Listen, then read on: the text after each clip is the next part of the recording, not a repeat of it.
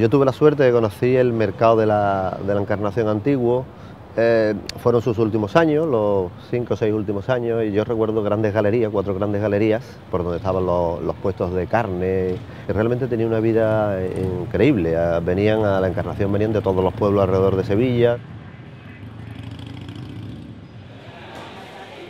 Bueno, en el antiguo mercado mm, yo empecé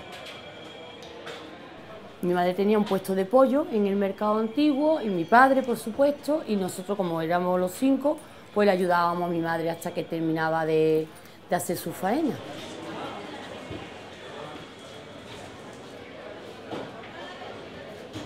Bueno, yo me llamo Domingo, soy frutero desde hace 53 años. E, e, este barrio ha sido comercialmente eh, de lo más importante de Sevilla entonces esto creó, a raíz de que mm, se derribó este mercado, hace 38 años, y nos fuimos allí, esto se fue decayendo comercialmente. Cuando cerraron el mercado de la Encarnación, pues fue una catástrofe para, el comercio de la zona, porque el mercado provisional realmente no tenía la llamada que, tenía el mercado central, el antiguo mercado central, había ya otros mercados a los alrededores, el mercado de feria, el mercado de entradores, lo que necesitábamos era un mercado nuevo y que los comerciantes tuvieran un sitio digno para trabajar. Pues, pues, el pasado esto era como, vamos a decir que esto era el corazón de Sevilla, porque se lleva 34 años, que la cual esto es un, solar, totalmente un escaparate un poco vergonzoso en el centro de Sevilla que se encuentre ese solar.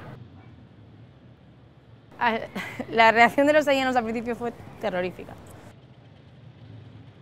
Entonces la gente no entendía que una arquitectura tan moderna pudiese convivir con, el centro de la ciudad, que, tiene una estructura muy tradicional. La primera vez que vi el proyecto con la maqueta, pensé, digo, esta gente está loca, perdía, esto aquí no pega, esto a mí no me gusta, a nadie le gustaba, porque los sevillanos no, no estábamos muy partidarios con la estructura tan moderna y tan galáctica. Y es que no estamos acostumbrados en un centro de Sevilla una estructura tan moderna.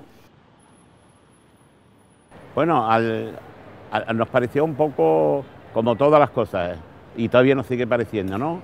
algo que no encajaba como en una plaza de, de esta dimensión, no encajaba una cosa tan enorme como esta. Pero segundo, claro, a lo que habíamos pasado y tenemos, pues ya sí nos fuimos enterando que esto iba a ser algo para el futuro. Pero luego con el tiempo han ido valorando todo lo que ha cambiado el área y, es muy positiva, ahora mismo es muy positiva. Pues eh, sí, poco a poco se ve que cada vez está teniendo más un impacto social y comercial cada vez mayor. Eh, este proyecto realmente lo que ha, le ha dado una nueva vida al barrio era un barrio que estaba de, calles mortecinas, de, locales cerrados, sin comercio, con muchas viviendas desocupadas y ahora mismo en los alrededores no hay locales libres. Está ya todo ocupado, hay muchos comercios que ya están funcionando, otros que están en proyecto de funcionar.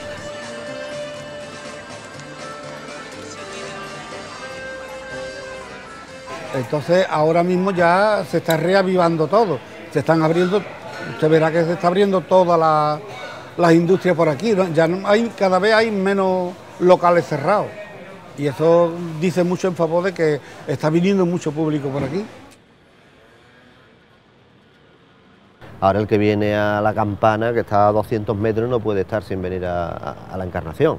Entonces realmente lo que está es desplazando el centro turístico de Sevilla hasta la Encarnación.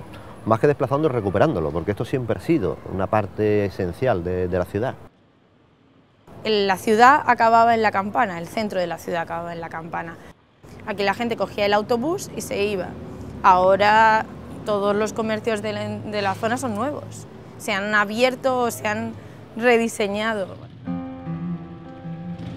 Pero cuando yo entro por la mañana y veo ese arco, y veo esa claridad, y veo e-, esa luminosidad y no veo nada mm, viejo, todo es nuevo, pues a mí lo que me da es vitalidad. Yo me siento feliz, nada más que viendo lo que es la estructura y viendo todo lo que es el entorno del cambio que ha pegado esto.